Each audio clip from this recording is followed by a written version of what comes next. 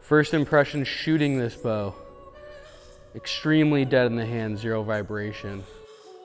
Target level accuracy in hunting bow is something that matters to me because when I'm gonna make that shot on an animal, I wanna know that I have confidence I'm gonna put that arrow where I want it to be. Dampening systems on this bow create a quiet experience unparalleled to other hunting bows. For an aluminum bow, it's extremely light.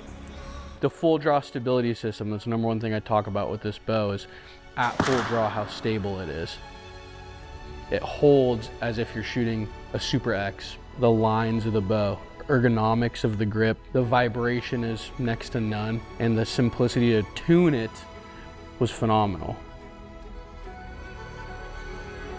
When I see Picatinny mounts, integrated rests, and QD stabilizers, and I can build it fast, it's gonna fit tight. Paired with the EC2 cam, tuning this thing is a dream. Being able to remove shims to customize the shooting experience, simplicity at its finest. Creating your own shot cycle is something that's really hard to replicate and the EC2 cam makes it easier than ever. The back wall with the EC2 cam is unparalleled.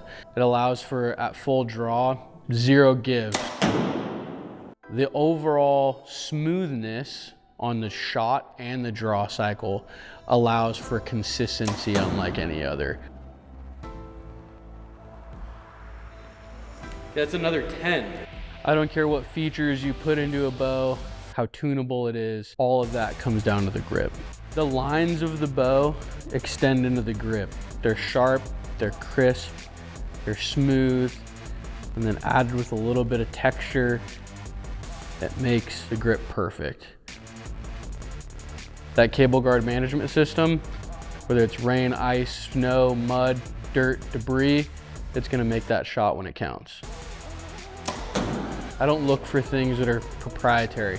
I want simplicity. And being able to customize this bow in any way I see fit is really important to me. I want to do the job that I need it to do.